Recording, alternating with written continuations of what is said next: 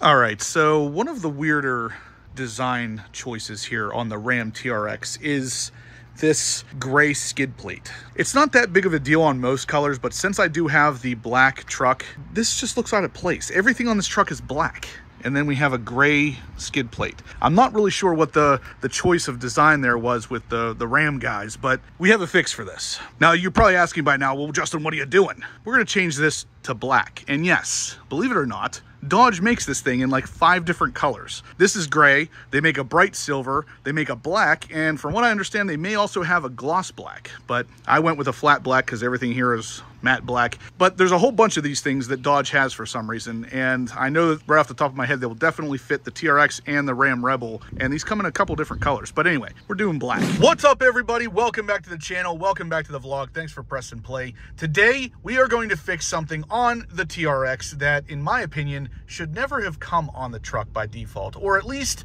we should have been given the option to change this out from factory. But nonetheless, we're going to be doing it today. Stay tuned, guys. This is something any of you out there with a Ram Rebel or a Ram TRX can definitely benefit from. So we're going to do a little bit of a do-it-yourself kind of thing with this particular bumper. I'm going to show you the process because it isn't super difficult, but it is definitely time consuming. So let's jump into it. The first step is we're gonna get underneath the truck. We gotta actually remove the skid plate portion of the under part of the truck. Then after that, we're gonna get into the fender wells and remove the bottom part of each fender well to give us access to the bolts that hold the bumper onto the truck. And believe it or not, that's all there is to it. The bumper will then come off and that's when the real fun starts. But to get the bumper off the truck, it's not actually that difficult. And there's Onyx. He's coming out to, to help with the truck, guys. This is my American Cocker Spaniel. He's, he's a good little boy. He's going to the bathroom. So anyway, let's jump into the truck.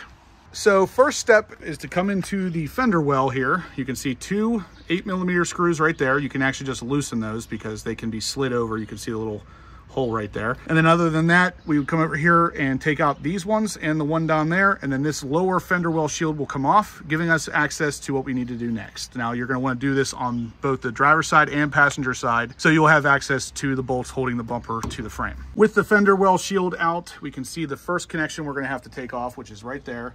And then we can see the three bolts holding the bumper to the frame right there.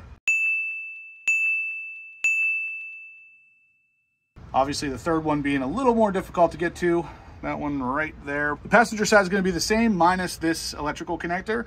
So let's go ahead and release the gray tab on here, or actually the red one first. Like that, and then we'll just pull this just like that. After you pull that red clip back, you can then pull this gray clip all the way back and it will release those two and you'll just separate them. And on the passenger side, we already took off the inner fender well there. You can see there's no electrical connection on this side, but there is the same three bolts connecting the bumper to the frame. So we'll go ahead and remove those next. Onto the nuts holding the bumper onto the frame here. These are 18 millimeter. Uh, for the most part, I can get an impact gun in there on these two, but that one up there is gonna require the use of a wrench. Let's go ahead and get these off of here many hours later. All right, guys, we just got this bumper off and you've probably seen the other videos talking about how hard these inner bolts were to get off. Yeah, we have a lot of tools, a lot of blood, and my neighbor came over to help me and somehow he managed to get the bolts off when I couldn't. So He's the magic man. It's all about getting a good grip and. Yeah, so we're underneath it with the 18 millimeter socket on a on a ratchet. I tried a wrench. I mean, this this is no joke. This thing is no freaking joke. So if you can and if you want to pay the dealership to do this, it's probably the best way. We like to do things ourselves here, but yeah, if it wasn't for my neighbor Bill, getting good leverage. I don't think I'd been able to do yeah, it. it I was out here for. It wasn't easy. yeah, I was I was out here for probably I don't know, two or three hours trying just those last two bolts. Everything else was out. Those last two, I could not get enough leverage on it. And I even tried my my extension bar here and uh, it, there's just no room. It's that old man strength. Glad to be a help. Thanks, Bill. okay. All right, guys, so here we are after the bumper is off the truck. Thankfully, my neighbor Bill was able to help because that third bolt, which is, or not, I guess, it was right here, is really, really tough. So um, it's probably a case of me not having the right tool for the job, but at the end of the day, I was able to get it done. Uh, just be mindful of the fact that this is going to be tough. Now, obviously, we are in my living room. My wife is going to absolutely love me, and so does my dog here. But basically, we need to get all this hardware off. So all of these bolts down along here need to come off. So this entire part right here can come out, which will then reveal the bolts down below here for this skid plate part. I'm to zoom out a little bit here, but uh, yeah, I mean, everything's to stay the same. You guys say say hi to Onyx again. He's he's a good boy. He's a good boy. Say hi to the camera, Onyx. Good boy. He's to help us with this process, I guess. But like I said, we're just to basically remove all these bolts. I'll tell you what size they are as we go through here, just so you know, and I will tell you which ones you definitely have to remove to get this done. I grabbed a bunch of sockets, so we're gonna know the size of everything here in a second. So these black ones right here, those are 13 millimeter.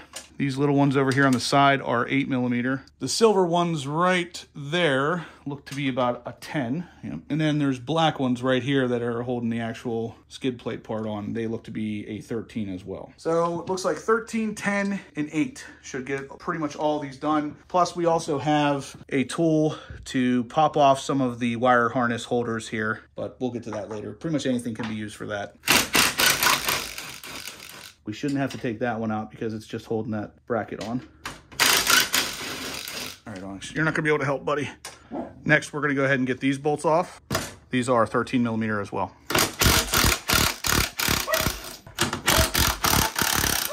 And then there is one hiding right here as well. There is two right here and here, also 13 millimeters. Then there's another 13 millimeter up here. There is also a 10 millimeter bolt right here holding what looks like the fog light bracket to the skid plate here. Next, we're going to go ahead and remove the 8 millimeter nut here and this little clip right here. And then that will be all of the bolts you have to remove on the left-hand side of it. And all of these bolts are the same on the right-hand side. So we're just going to kind of ignore that. Once we get these two out, we're then going to just remove this wire harness right here. So we'll just unclip it and then move on to the top part. Well, that went flying. A tool like this is probably your best bet for removing these. Um, I have this or something like this from Harbor Freight. You should be able to go ahead and just pop those right out. Um, there's a good bit of them all the way along here and some over here on the side. So you'll want something like this to not scratch this all up.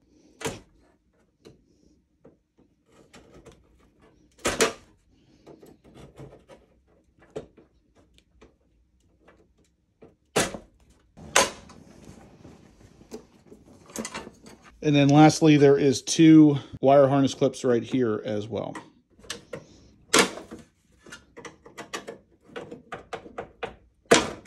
All right, so next we're gonna remove this top plastic trim part here, which actually hides a couple T40 screws going straight down in. Once we get that off, this is pretty much ready to be pulled out. Easiest way to do this is to kind of squeeze these clips. You can do this with a pair of needle nose pliers or pretty much any pliers at all. Um, these are just kind of on here with like rubbery clips you can just squeeze and pull out.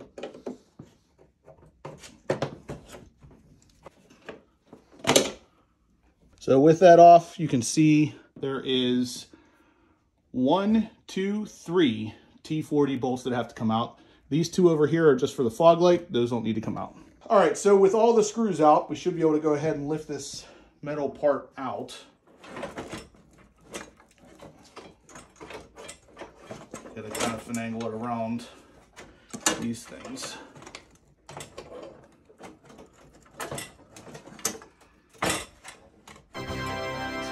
That's out. So without the uh, big metal part in there, we can go ahead and start taking out the rest of this stuff. So you can see all the 13 millimeter bolts all along here, and these two 10 millimeters. We got to take out all these bolts, and then this skid plate part will basically drop right off.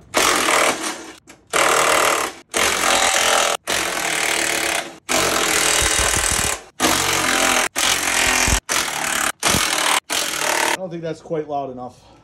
So then these screws up here, these are 10 millimeters.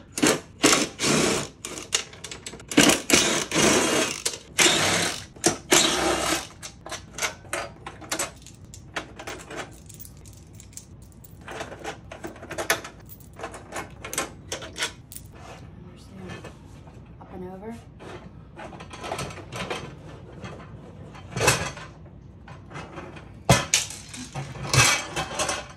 So this is pretty much it. I got the black one on after I swapped out all the hardware from the gray one. So the gray one had a bunch of U-nuts and things like that that need to be swapped over to the black one. It's nothing crazy, so I didn't even show it. Basically, you slide them off the old one, you slide them on the new one, and then reassembly here is obviously the opposite of disassembly. So just put it back on, put all those bolts back in, uh, all the wire harness, uh, Christmas tree style connections you can just pop back in, and then we're pretty much ready to put this back on the truck. All right, guys, and she is all done. I will tell you what, this was a lot more work than I thought it was going to be. It was not very easy. So basically, what ended up happening was there is basically six bolts that hold this bumper on, or six nuts, I guess, and four of them on the outside. So two here and two over here are pretty easy to get to. And then there's one here and one there that are just absolutely really, really difficult to get to. And then once you get to it and get the bumper off, that's not all. Then you got to take the bumper out and remove all the hardware from the back. It's it's a pretty extensive process, but I do think it's worth it. I'm going to throw in a before shot and an after shot because it really is it definitely just looks a lot more like the truck should look, especially if you have the black one like I do here. So I do definitely recommend this over painting this area because I've seen some trucks that get painted in the skid plate or bumper area. And especially here in Pennsylvania, the road debris is going to beat that up and it's going to look bad really quickly. So this is definitely the way to go, but it is a lot more difficult. So if you think this is something you want to do, keep in mind, this is not easy at all. And I do all of my own maintenance, all of my own work on my cars. So I'm used to getting into stuff that's a little more on the difficult end. This, this is up there. Anyway, guys, that's going to do it for today's video. So hopefully I helped somebody out there. Hopefully I uh, helped someone figure this out a little bit more. If you are interested in doing it yourself, it can be done. It is just a lot more work than you would think for something that simple. I'm not really 100% sure why Dodge decided to make that so difficult to remove, especially since that is going to be a part that's going to get beat up from time to time if you're doing any kind of off-roading or anything. But I'm not an engineer, so I guess they know more than I do. Anyway, guys, if you liked what you saw, please smash that thumbs up button. Let me know you're liking the content so I can keep creating this stuff for you. If you have any questions about what we did here, leave them in the comment section down below and I will definitely get you an answer. If you haven't subscribed yet, please do. I'm going to have loads of content like this coming you're not going to want to miss. And as always, guys, I will catch you in the next upload.